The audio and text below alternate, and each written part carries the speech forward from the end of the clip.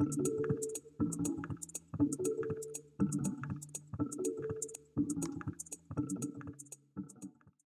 right, good afternoon, everyone. I'm going to stay close to the microphone, but if you can't hear me, then uh, just wave at me and I'll be louder or, or even closer to the microphone. My name is Jüri Reimand. I'm a principal investigator at the Ontario Institute for Cancer Research. Um, it's my third year now. I haven't done this for a while, but I have done a while uh, worked on pathway network analysis. So this is what I'm going to tell you about today. Uh, so we're still on. Alright, so the learning objectives of this module. Uh, you should be able to identify situations where pathway network analysis is useful. And if you are working on genomic or any other high throughput data, there will be plenty of situations where this is useful. Uh, you, you will learn about the main components of pathway enrichment analysis, uh, gene lists, and pathways. And in our context, pathways are mostly sets of genes, and many biologists find this a little counterintuitive, but it's the easiest to analyze them as sets of genes. And then a uh, boring but important part of pathway network analysis is uh, uh, different types of gene IDs. You can't get around with them. Um, and then uh, also you should be able to understand how gene sets come to be around, where do they come from, and what do they mean.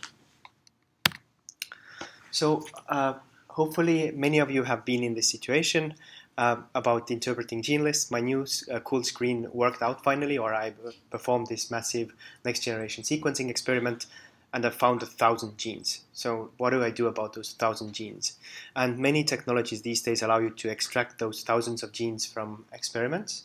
So maybe they represent uh, a differential gene expression analysis or a proteomic screen, uh, or maybe something uh, about epigenomics where you identify regions of interest in the genome. In any case, these genes, uh, to go through them one by one is way too much. So we really need to focus on analytical techniques that allow us to analyze sets of genes um, quickly and, uh, and efficiently. So here's a small workflow. It looks like an old school microarray platform. Uh, we use some sort of genomics techniques or analysis techniques to rank or cluster or filter these genes, uh, and we end up with a long list of candidates. What do we do next? we use tools that allow us to interpret those genes.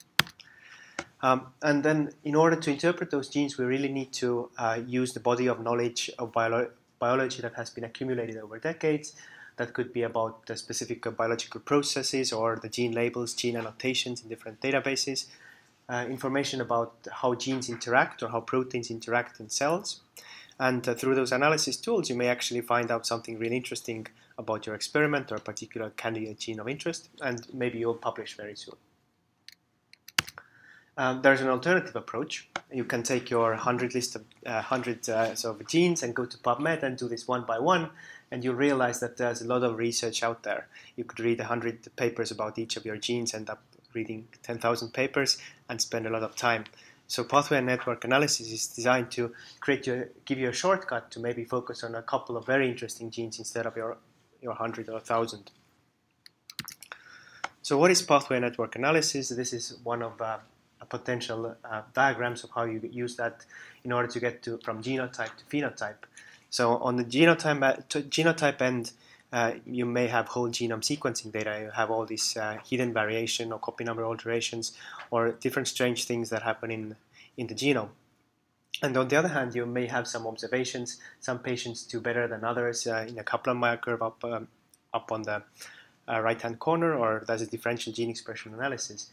Uh, you associate those two sets of data using uh, information from public databases. Maybe there have been um, uh, lots of large-scale experiments conducted earlier, experiments on things such as protein-protein interactions. There are large databases out there where each gene has certain labels assigned to them over uh, decades of research. There's a lot of literature and there's experts. So all of those sources um, contribute to what we know as pathways and networks.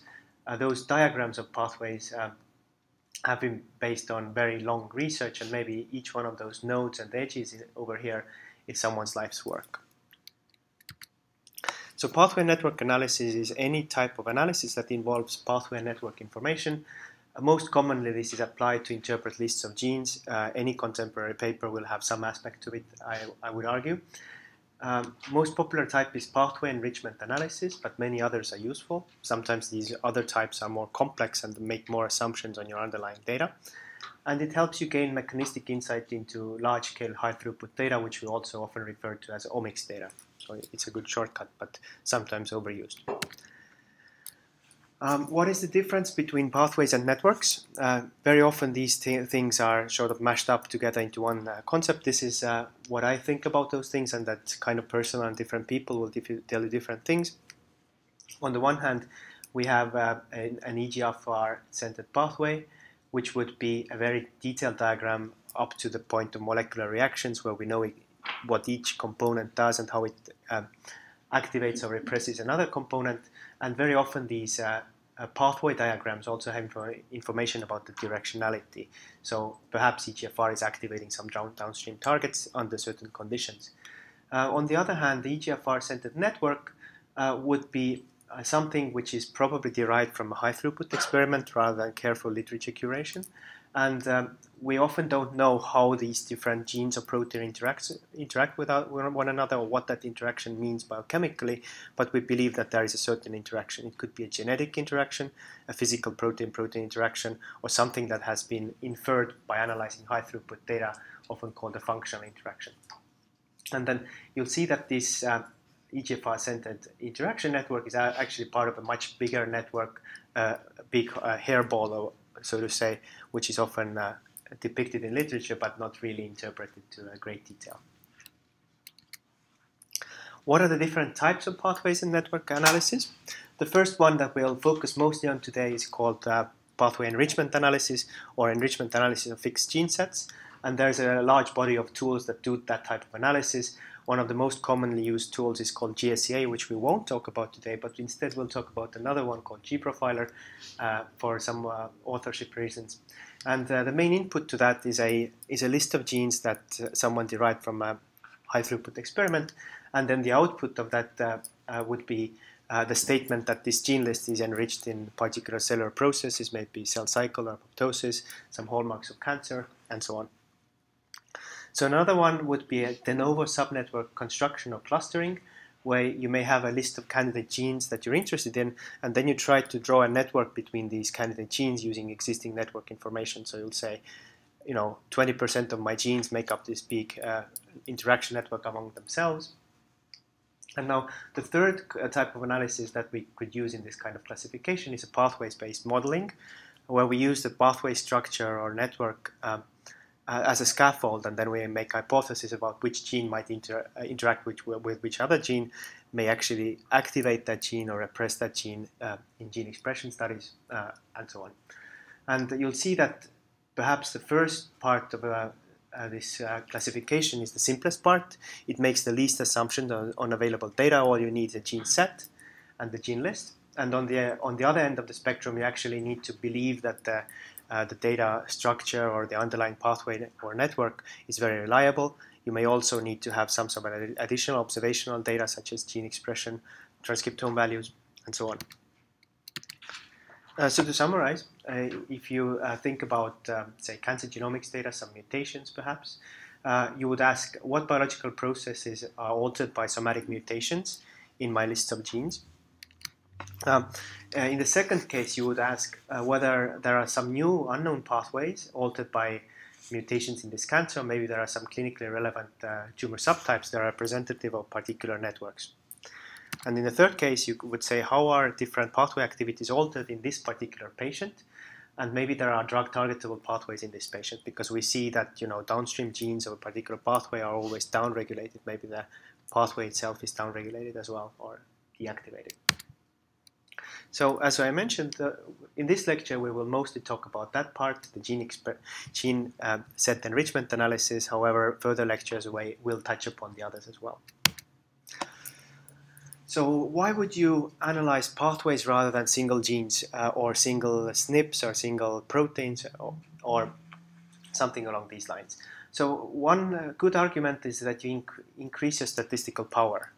So statistical power uh, is the notion of recovering these uh, uh, these similar results if you had a different data set and how likely it is uh, given the number of tests that you do.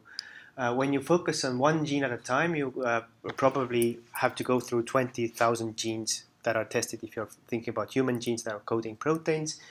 If you have a SNP array from Affymetrix, then you may, may look at the million SNPs.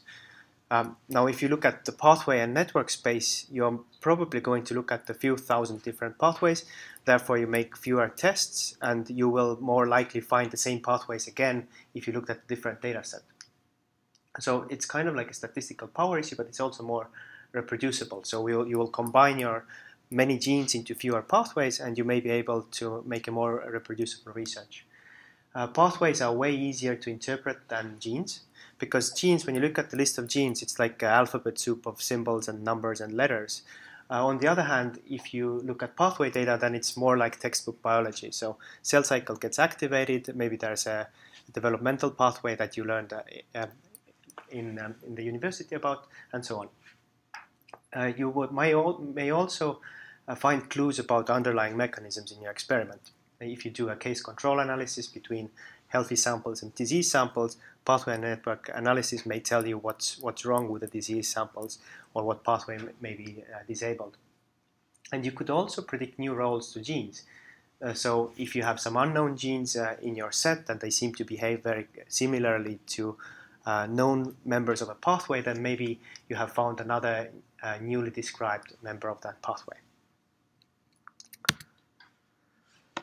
Before you go into pathway analysis, uh, you have to think about a few different things. Uh, first of all, it's garbage in, garbage out. Uh, your data better be high quality because pathway analysis is a type of an analysis which may give you an answer even though your data is flawed. So one example that comes to mind is that uh, you perform, say, transcriptomic uh, assays, you do next generation sequencing on RNA, and in your samples, uh, an apoptotic pathway shows up. Why could that be? Maybe because you left the, uh, the cells lying on your bench for, for a while. So uh, things like that are often very uh, easy to happen, and then pathway analysis will give you an answer because it, it detected upregulation of apoptotic genes. Uh, genes need to be normalized beforehand, uh, and uh, depending on which pathway analysis you use, you, you may need to use a different type of normalization. RNA-seq requires different normalization com compared to, say, microarrays. Uh, background adjustment is also important. Uh, sometimes uh, you know that your candidate gene list can only contain one particular type of genes and nothing else, and then pathway analysis needs to be adjusted to take that into, into account. Um, I will talk about this a little later, but you may need to make sure that the particular type of gene IDs that you use are also compatible with the software that you use. So there's a lot of caveats, uh, but uh, these days many of the tools are really easy to use. So what is the general workflow of this type of analysis? Uh, first you collect your uh, genomics data, omics data, proteins, uh, RNA, uh, single nucleotide variants, and so on. Then you normalize and rank and uh, score them. Uh, oftentimes that uh, step already happens at the core facility, so that's great. And then you generate the, uh, a list of genes that are act as your candidates, and then you use these various pathway network approaches to learn about cellular mechanisms, uh, candidate genes, uh, characteristic pathways and processes, and so on. And within that green step, there are many other different steps that are applied. So statistics is one. Uh, we rely on statistical algor algorithms and multiple testing correction to identify pathways. Visualization has a has a key effect because many times these pathways are very redundant among one another. You may have uh, dozens of pathways highlighted by the statistical analysis, but they're actually all the same thing. Um, and then uh, you can drill down to understand molecular mechanism, perhaps going back from the discovered pathways up towards the genes that you found, and then associate genes and pathways in a more detailed um, analysis. And then ideally, you'll publish the model explaining the data where you integrate some of the pathway network analysis.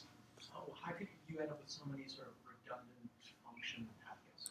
Um, I'll get to that, but uh, the key question is there's a biological reason and a technological reason. Uh, there's a lot of crosstalk between pathways you know the same gene can be part of multiple pathways, but also the ways pathways is, uh, are represented in databases is very redundant. Uh, we'll talk about gene ontology soon, but gene ontology is like a tree where leaves are very very specific, uh, you know even reactions, and higher nodes are very broad processes like metabolism. and they are contained within each other. So what is pathway enrichment analysis statistically? Uh, this is essentially a Venn diagram with a little bit of statistics happening in the middle section.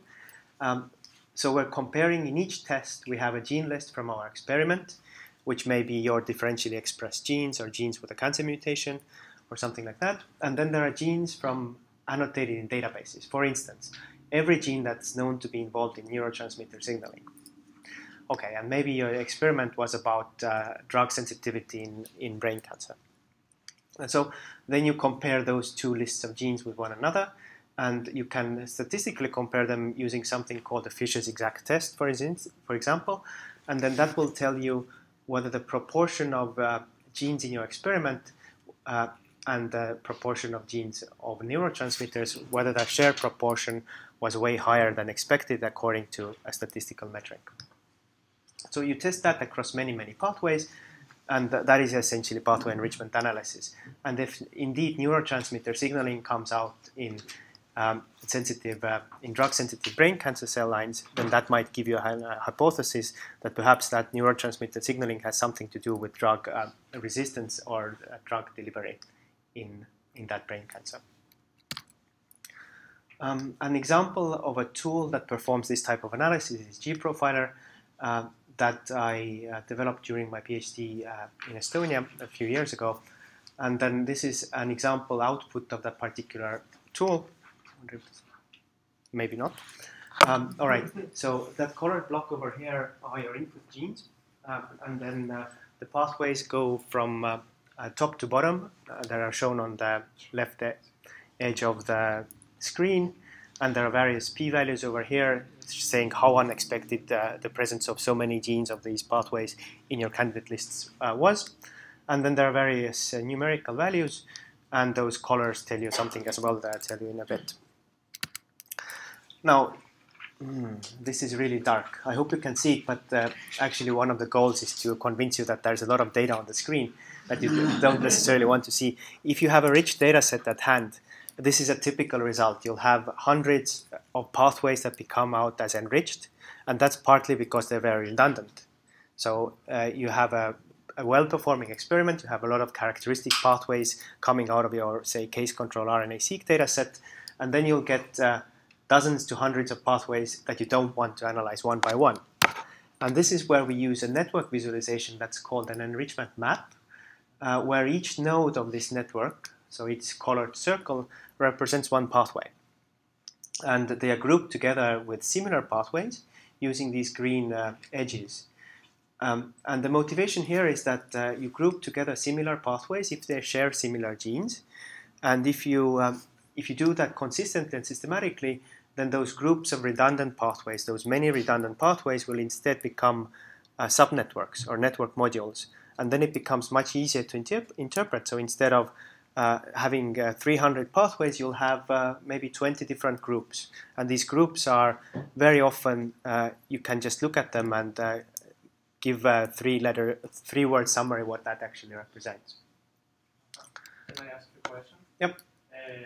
what would you say are like the, the pros and cons of the gProfiler compared to the other tools the same. So why, you know, when somebody would use gProfiler and when somebody would use mm-hmm. GSEA or I don't know, uh, ASLVA. All right. I'll give you a short answer comparing gProfiler and GSEA. Actually, there's probably like dozens of tools that do different aspects of this research. The main difference between gProfiler and GSEA is the type of a gene list you provide as input. So gProfiler will work with a list of 10 genes, and will, it will work with a list of uh, say a thousand or two thousand genes. GSEA always requires you to input the gene list that's equivalent to the size of the protein coding genome. So 20,000 is the standard input for GSEA. And for some analysis, it's, it's perfectly fine. You have a, say, a transcriptomic data set where you have a gene expression value for every gene. And then GSEA is appropriate because you have a value for every gene. Um, in the gProfiler context, um, you would have pre-filtered that gene list to get the statistically significant differences, and only then you go to gProfiler. So GSEA works in, it's designed for gene expression data. It doesn't really work with, say, proteomics data. Uh, so gprofiler is more general, but it won't analyze the entire list of genes for you. So let's say you want to do a sort of middle ground, for example. You had a list of genes with active enhancers that was somewhere like the 8,000 you repeat? I'll, I'll repeat the question. So if there's a, a large gene list, but it doesn't cover everything, say 8,000 genes coming from an enhancer profiling experiment, um, I would um, just take a step back and say, what do you want to find? What is characteristic of 8,000 genes? What is the label you want to put it on a pathway context? Um, it sounds like if it covers, say, uh, 50, 60% or 50% of, you know, annotated genes altogether, then statistically you are not going to get a very large number of meaningful enrichments. So um, I would attempt to rank that gene list according to, say, strength of enhancer signal, and then uh, um, take the top thousand genes according to that. If you don't have a good statistical measure of drawing a cutoff. Um, All right. Um, so where we stopped was, I suppose, um this long list of dark green uh, uh, lines moving to a network.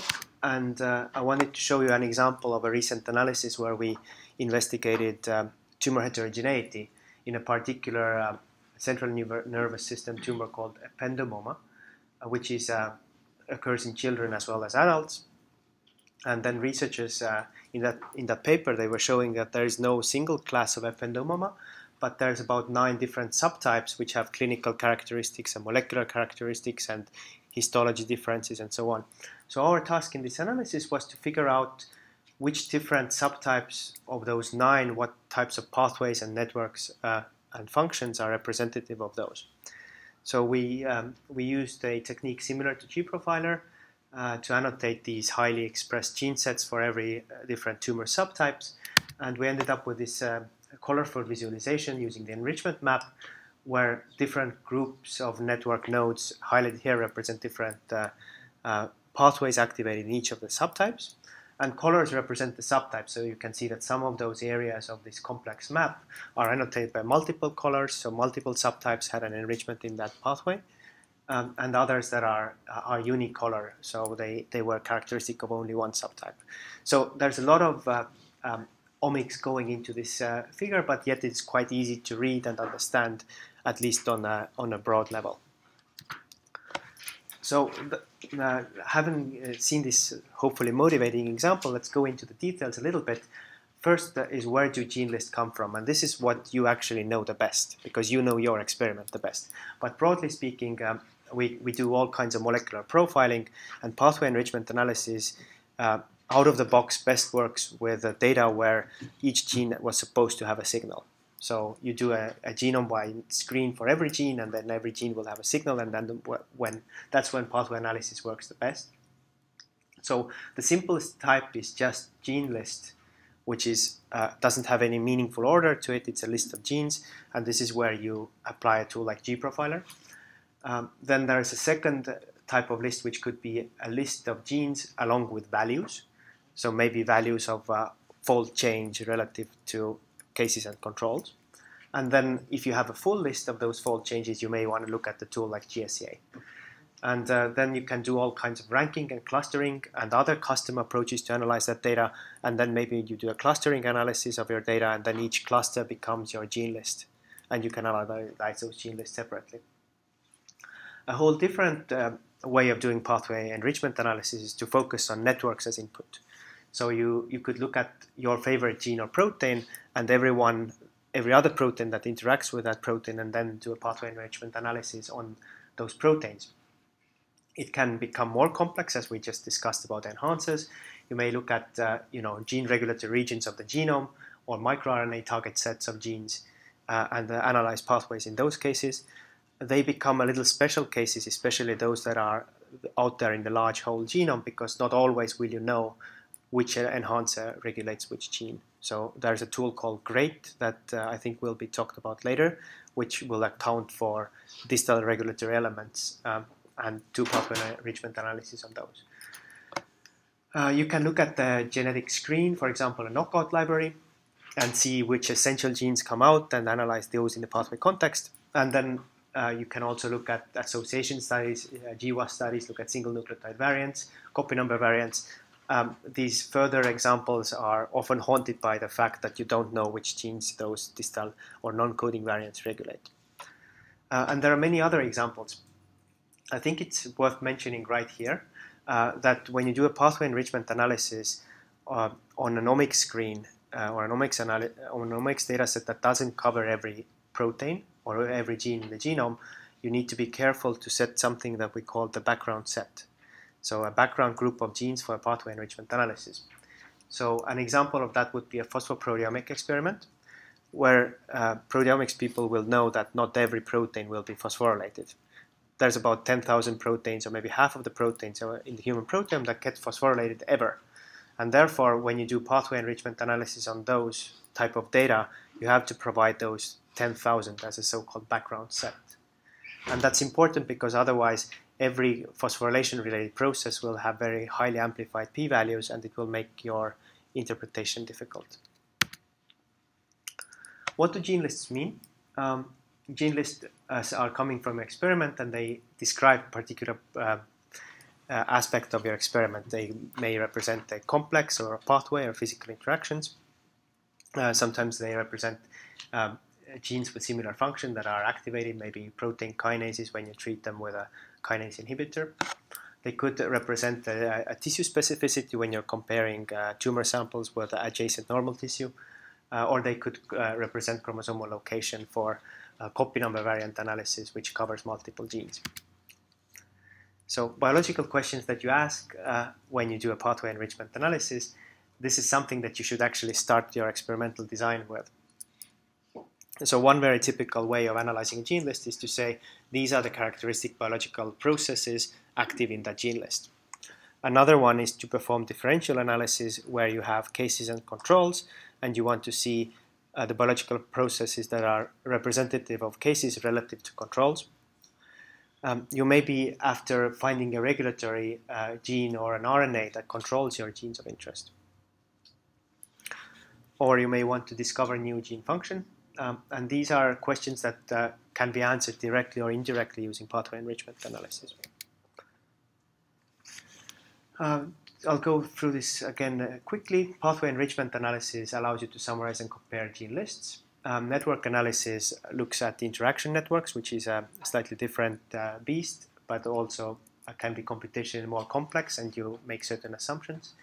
Um, and then there's a regulatory network analysis lecture coming on uh, as well, where your, your goal is to find regulators of those genes, either transcription factors, uh, microRNAs, long non-coding RNAs, or so on. Pathway enrichment analysis has these two input components. Gene list is something that comes out of your uh, data analysis, and pathways or gene sets are those that are part of public databases. And then the, there are these various tools such as Amigo, GSEA, GProfiler that provide um, an intersection between gene lists and pathways and retrieve enriched pathways.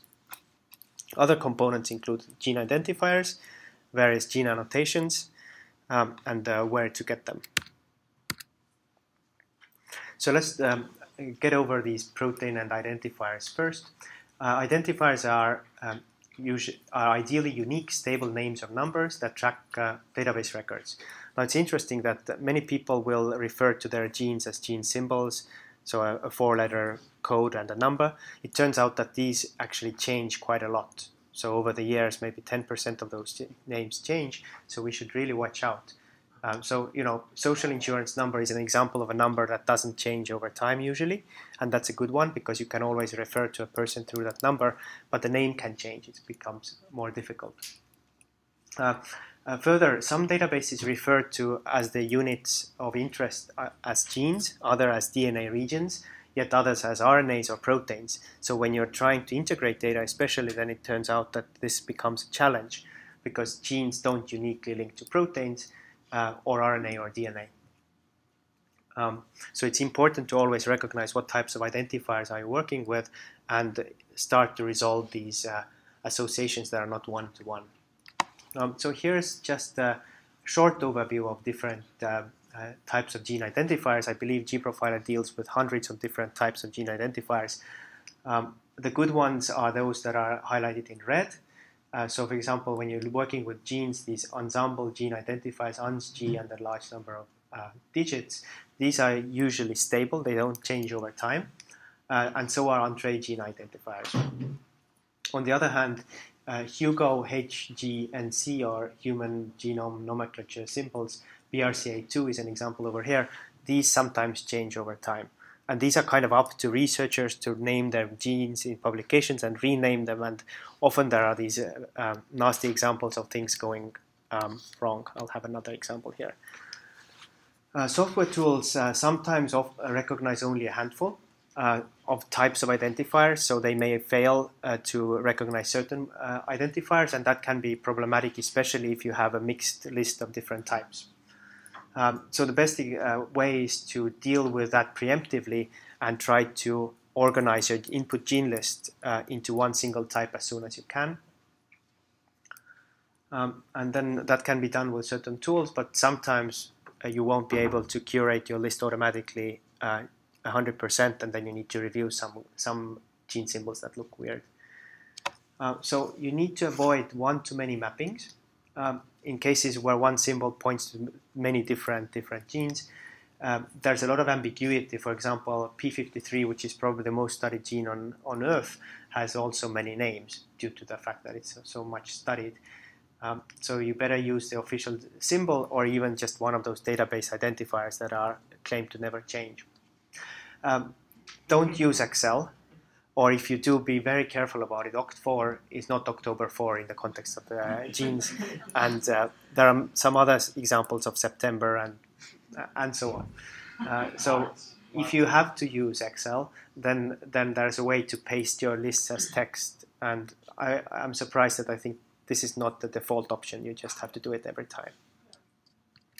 So here's a nasty cautious uh, cautionary example where people published a Nature paper maybe 15 years ago and then published a retraction because they had looked at the wrong gene symbol.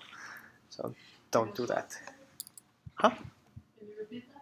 So they they claim in this uh, sort of uh, retraction note that they were thinking that they were analyzing a particular gene, but instead they, it turned out it was a different gene entirely. So the different gene is not as important as the initial one. That's why they retracted the paper. Or? I haven't really followed it, but um, yes, I mean there's there's two different genes called HES1, and then the symbol had changed. Um, I think it's worth looking into that if you're really interested. Here it just serves as an example of caution. So to practically address this, um, there are different tools. Um, gconvert out of gprofiler is one tool where you can select um, your target choice of a gene ID and you can paste in a mixed set of IDs and it will give you this uh, comprehensive table of what maps to what, uh, along with uh, little descriptions that allow you to read if it really makes sense. Uh, gconvert is actually based on the Ensembl database where we automatically pull these BioMart tables of what identifier maps to what other identifier in order to provide these comprehensive mappings. And to be honest, this is not perfect either because besides official identifiers, uh, there's a jungle of uh, aliases and deprecated gene symbols and things that don't really go into the system. And if they would, they would mess up things uh, even more. So on the on the right edge, you'll see this example of different human gene identifiers that can be mapped, and this list goes on and on. So besides databases, they could also represent experimental platforms such as um, microarray probe set identifiers, and many, many other things. Um, okay, if you're working on proteins and genes, uh, then it's a little easier because you don't have to worry about uh, alternative splicing or, uh, or well, protein isoforms. Then you can map, map everything to Entrez gene IDs or official gene symbols. Watch out for official gene symbols because they map to date sometimes and they also sometimes change. If you really want 100% coverage, you should manually curate missing mappings using multiple databases. GeneCards is one, for example, where you can look up your gene, gene names. Um, and then remember to format your cells as, text before you paste. So quick summary of what we've learned so far. Uh, genes and their products have many different identifiers. Um, some tools handle that automatically, others don't. Others are restricted to certain types of IDs. And when you do genomics, then you often need to convert one type of ID from another, especially if you do, say, multivariate genomics analysis of multiple different data sets. Um, and use standard commonly used IDs as soon as possible in order to avoid that, uh, that chaos later on. So the second component that we should talk about is pathways or gene sets or processes um, that can be uh, difficult or well not difficult but diverse. Uh, the main uh, the main source of those is gene ontology, uh, as, a, as well as pathway databases such as Reactome. Yeah? One question about gene symbols. What if you're working in like, the non-human namespace? If you're working with other model organisms, is there a good way to translate that? Is that effective if you do? Uh, do, you, do you mean translating uh, between the identifiers of that model organism or between different organisms? Uh, to translate between different organisms, you first need to find the homologous genes. Uh, there is a tool in gProfiler which I won't be able to cover, but it will map uh, uh, from one species to another species. Um, but uh, within the species, uh, uh, there are other databases, obviously. So there's a mouse genomics database and the yeast genomics database, and they also deal with different symbols and different database identifiers, and the problems are similar. and those, the gProfiler toolset works with many different species. So hopefully it applies to that, those problems. Uh, best to do uh, a blast search to confirm that the gene that you're looking at in human is the same in mouse. Most of the things are identical or relatively identical, but there are some genes that do function differently in species. So you have to think about the functionality and also that the existence of one gene doesn't necessarily mean say that will be the existence of protein within uh, within that other organism. So just doing a simple gene name to gene name translation, don't do I would that. argue is dodgy, dangerous, and best avoided. Uh, sorry, I'll be teaching you tomorrow. So sorry, you're in. Interrupt there. That's okay. Also, uh, a single gene in human may have multiple copies in another species. Uh, I think it's mostly vice versa. So a single gene in a worm may have like a family of genes in, in human. Okay. And so pathways and other gene function attributes. So uh, I'm I have pretty liberally used the word pathways, but this actually reflect, reflects in this context any set of genes with some sort of functional relationship, uh, which is well defined. So all of these sets of genes are available in databases. Um, in terms of pathways, uh, our primary resources are the sets of genes corresponding to biological processes in, in, gene ontology, and then various pathway databases. Reactome is a great resource for human databases, for example, as is KEGG, um, and the different uh, species will have their species-specific databases of, of, pathways. And then there are these other annotations that are not necessarily corresponding to uh, the classical definition of a pathway, for example, in gene ontology, there's another branch of the tree called molecular function, which is more about biochemistry and how things uh, react to one, one another. And then the third ontology is the cell location or cell component ontology, which is about organelles and uh, uh, cell parts. Um, you could also interpret the gene set as a, a list of co-located genes, so something that are all in a particular chromosome region or uh, an arm. Uh, you could also group genes according to their disease association. A very common one is like the cancer gene census set of genes. Um, you could look at some DNA properties, for example, do they share common enhancers or common transcription factor binding sites, um, or do they share microRNA binding sites in their uh, in their untranslated regions? And similarly about protein interactions or protein properties, such as do they carry a particular protein domain. So the same type of simple statistical approach of association applies to many other things besides, uh, you know, bona fide pathways. What is a gene ontology? So a gene ontology um, is a st structured dictionary. Uh, the technical term is a, a directly acyclic graph, which almost looks like a tree, uh, but it's not a tree because uh, there are additional connections in the tree. So the root of the tree is something very, very general. The one important root of uh, gene ontology is the biological process. And then the leaves of the tree are very specific uh, processes, maybe they have only one known gene that is involved in that process. And then intermediate branches of the tree will represent uh, more general and specific parts of what we know about biology. It's important to know that, that there's one gene ontology, and that represents the, the biology of bacteria, the biology of humans, the biology of, I don't know, whales. Everything is supposed to be a part of that ontology, and then what matters are the gene annotations.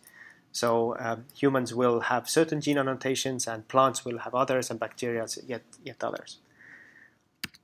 And so here's an example. Uh, this is um, one certain part of the gene ontology. The topmost term is biological process. Then it uh, goes uh, further down to more specific parts. Uh, there's the cellular process, there's cell death, there's B cell apoptosis at the very bottom, and it goes on and further. Um, and then the these are the different annotations and genes get assigned to them. Um, and then uh, these Go terms are associated with different types of uh, relationships. One um, term could be a part of another term, or it could be a more um, specific uh, uh, representation of another term. So that describes levels, uh, different levels of detail for gene function. And um, the important part, uh, the important technical note here is why this is not a tree, is that terms can have more than one parent or child. So B cell apoptosis is a, is a type of an apoptosis, but it's also a type of a B cell homeostasis. So this is how we describe biology formally. What does Go cover? Um, for pathway enrichment analysis, probably the most important part is the biological process. For example, the biological process here is a cell division process. So that's what cell go under. Uh, other parts of Go are cellular components. So here's a cell uh, with its membranes, for example, and then molecular functions, uh, the detailed molecular functions such as glucose 6-phosphate isomerase activity. Where do Go terms come from? Um, Go terms are added by human editors at the European Bioinformatics Institute, uh, as well as gene annotation databases, and you'll see that this is a very large and detailed effort because the Go is supposed to represent uh, all kinds of biology out there. And um, uh, there are also expert developments where major branches of Go are rearranged or deleted or, um, or created. It's important to note that this is not a static entity. It uh, evolves quite rapidly over time, and then this graph is a little outdated, but you'll see that uh, you know cell component uh, grew over 30% between 2012 and 2015. And that is as we learn more about biology, especially in these days of uh, high throughput omics data, we these annotations uh, grow rapidly, but also the underlying vocabulary grows rapidly.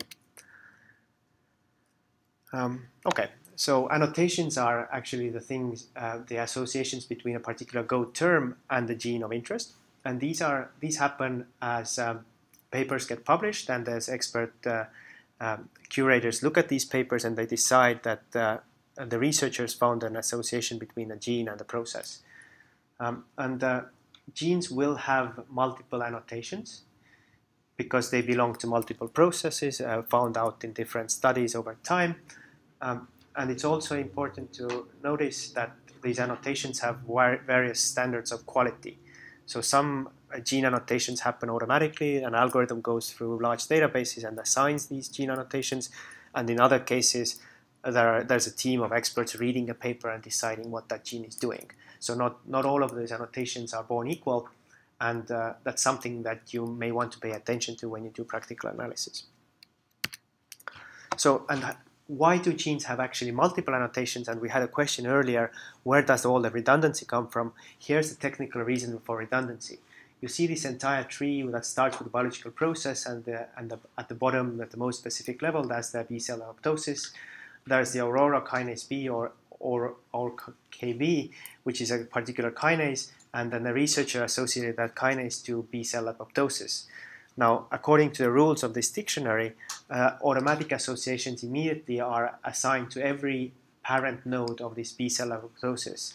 So basically aurora kinase B annotation gets propagated all the way up to biological process, so it becomes associated with B cell homeostasis, apoptosis, programmed cell death, and all these different annotations. So that's why when you do a pathway enrichment analysis on a rich data set, you'll get these hundreds and hundreds of results. Um, all right, I think we went through this already, but uh, the key point is that you have to be aware of the origin of that annotation. Um, for example, human will have uh, fewer experimental evidence of annotations compared to mouse, where we have uh, way more ways to uh, study mice uh, due to ethics and so on.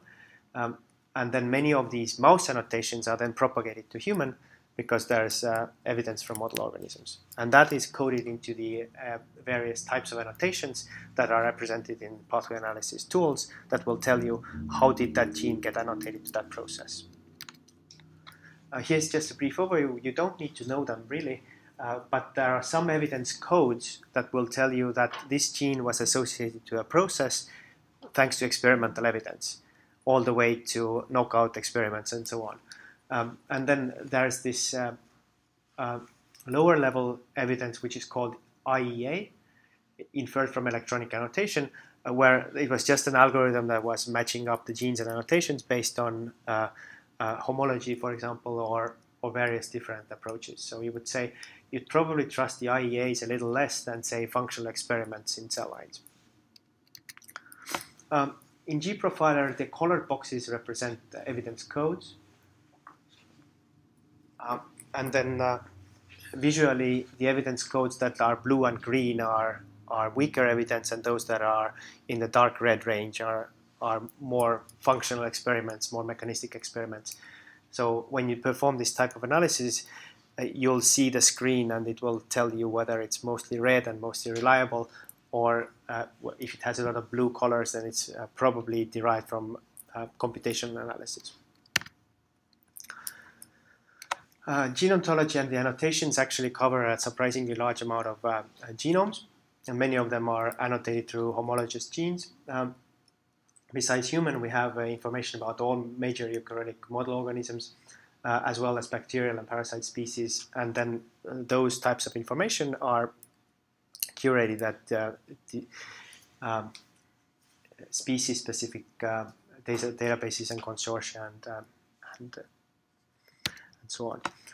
Uh, as I mentioned earlier, there's a lot of uh, variable coverage. Uh, this is a chart that shows you how many um, annotations there are for genes per species. And on the far left, um, uh, the largest is human, obviously, and, um, and mice and rats. And on the other hand, there are uh, yeasts and E. coli. Uh, and you can see also that there's a large num number of experimental, but way larger amount of non-experimental annotations telling you that uh, not all of that information is very high quality. And there's a big list of different uh, contributing databases that generate these annotations to genes, but also contribute to creation of the gene ontology structure. Um, the Go resources themselves are freely available, so you're welcome to download either the tree structure as a file or any of the annotation files. And there's a very large community of bioinformaticians that are developing tools and approaches uh, for these um, uh, Go analysis uh, pipelines. Um, there's a study that we performed. one of the first studies in my lab was we, we asked whether gene ontology annotations as such have a best before date. And it turned out that they do. Uh, one of the most common tools that uh, was used in the recent years uh, is called David, and I'm sure that many of you have heard of that tool. Um, so it was known that David was out of date way before we published this this paper. But basically, we went out to PubMed and counted the different um, uh, Go analysis tools and how frequently they were cited. And David came up uh, by far with the largest number of citations. And in this plot, we correlated the number of citations uh, uh to the number of uh, uh, times or the, the most recent update of that software. So it turned out that David when it was cited by thousands of papers in 2015, the information into David, uh, into going into David was from 2010. So five years uh, or even more at that point, we wondered how much effect does that really have on the interpretability of these results. It is very fair to note that when we put out our paper into bioRxiv, uh, then David suddenly woke up and was updated very quickly. So since then, I think David is not no longer updated uh, seven years ago, but it's updated more recently. Uh, but uh, you should still pay attention if you're using David or not. Like when were the when was the last update of that software? So you don't compare with. Pardon? You don't compare GSEA. GSEA. Uh, that's a good point. Uh, for GSEA, you need to provide your own data uh, of gene sets. So all these tools over here, they use their own gene ontology on the web. When you run GSEA, uh, you have to download a data set and put that into GSEA. So that will your analysis will depend on how fresh data you are using.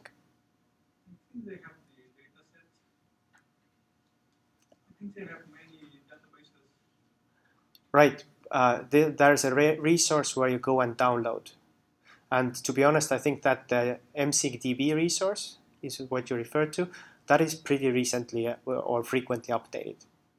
Yeah, I was just going to add about the MSigDB. Um, they're waiting for funding, so they're actually not as updated as they usually are.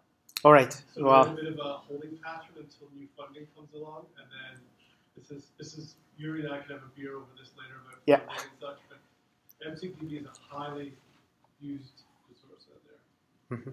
it's it's unusual that it's actually falling into the same category as you're discussing today. But, once you get some funding, but I don't. Uh, so it may be maybe it's one year or two years behind, but it's definitely not lagging by five or ten years. six months to a year Yeah. out of date. So obviously, this is not only because tool developers are lazy. It's also because tool developers run out of funding. The graduate students leaves. There's a lot of different reasons why uh, tools are not outdated, and that becomes a whole different discussion. Is that G profiler as well? Yes, but there's another person developing it, so that's Right. that's fine. Um, right. So as a user, you need to pay attention, um, and then uh, there is a quantitative evidence that you need to pay attention.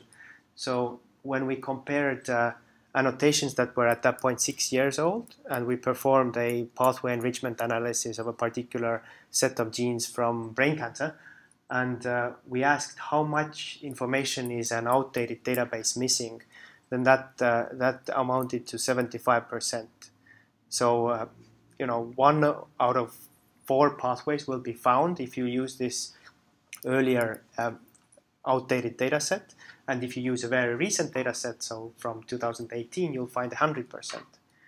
Um, and then some of those are very uh, clear why these wouldn't come out from these earlier databases. For example, druggable pathways. There were no drugs to drug those pathways uh, back in 2010 but now there are drugs to drug those pathways, so they show up in a pathway enrichment analysis. So there's a lot of reason for that. We have these new omics technologies that update the gene ontology annotations very rapidly. Um, there's also a lot, a lot more effort to uh, collect them because there's uh, there's more data, therefore it needs to be analyzed more often. And there's also the technical reason of as the Go uh, tree gets wider and wider, each gene will naturally accu- accumulate more annotations because of these you know, annotate or propagate uh, rules up to the top of the tree. Uh, more about pathway databases. Pathway Commons is a resource developed in uh, in Toronto that uh, that has aggregated information uh, from many different pathway databases, and then it becomes a super resource where you can look up sets of genes and see where they're annotated in different uh, in different uh, individual databases. Um, and then, as I mentioned before, this analysis is very general. It doesn't need to apply only to biological processes and molecular pathways, but you can use all these other annotations. And that um, there's a large number of those annotations. It doesn't mean that for every task you should consider them all because you'll overwhelm yourself with the results. Um, and there's the other reason of if you analyze too much data at the same time, false discovery rate will become much more stringent and you may lose results. So when you look at these other types of annotations, usually we recommend that you look at pathways first and see what comes up, and then maybe selectively look at some of those other annotations depending on what you're after. So for a proteomics experiment, it maybe doesn't make sense to look at transcription factors, for example, or vice versa. Or if you don't really know much about microRNAs, then why, why consider them in the first run? Just try looking at, uh, say, reactome pathways and uh, gene ontology biological processes first, and then then dig deeper into these other annotations whose quality is also variable. So what have we learned? Um, pathways and um, other gene attributes come from databases. Databases need to be up, up to date. Um, uh, gene ontology is one of the major resources. Um, gene ontology itself is like a, a dictionary of biology, and the, this dictionary has structure. And then uh, gene annotations uh, or links to that dictionary uh, are contributed by many groups. Uh, each gene will probably have multiple annotations, and sometimes that's a large number. Uh, and those annotations have different quality because sometimes they're human curated and sometimes they're machine curated.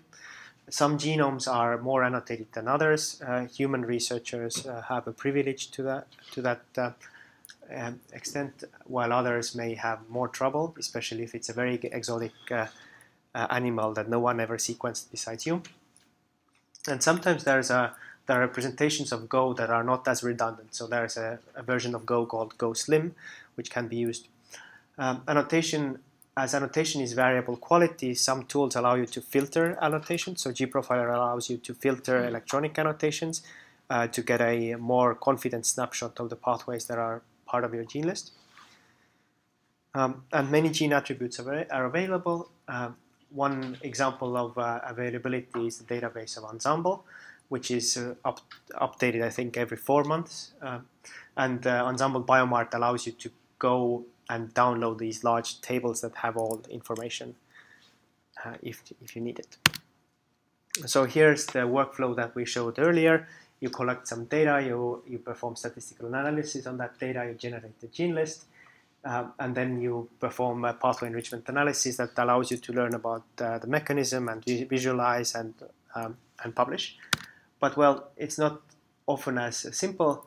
So uh, first of all, like the first layer of collecting data can mean a, a, a myriad of things. Um, analyzing that data is also not a single step, but it will depend on what, what you're actually analyzing. Um, but that uh, the fact that you generate the gene list that is very often universal. So when you do a when you do a many of these omics experiments, you end up with a list of genes or proteins, or maybe genomic loci, but that also becomes a list of genes eventually. And there are many different tools and approaches to analyze that data. Um, I think a common rule of thumb is that a very simple analysis, um, such as a gene list analysis, also makes the least assumptions. While if you want to do a very complex, uh, say, modeling of, uh, of uh, gene expression levels in a pathway, then you make more assumptions because you, you have to know the pathway very well and your you know, observational data also needs to be uh, high quality. So the things that we discussed today are pretty uh, generally applicable, while you can always go more complex. Um, so finally, when you're interested in pathway enrichment analysis of omics data, uh, we recently published, uh, pre-published in bioRxiv, a very comprehensive uh, protocol paper about um, how to perform this type of pathway enrichment analysis, starting from a gene list, or gene set, uh, all the way to uh, analysis or visualization with the enrichment map. And that covers both GSEA and gProfiler, and some of it is R code, and some of it is uh, step step by step clickable manual, and it's um, it's close to 100 pages, I believe, and it's currently in revisions. So uh, after I finish this lecture, I'll go back to looking at the text, but it's already available, so you should definitely have a look if you're interested.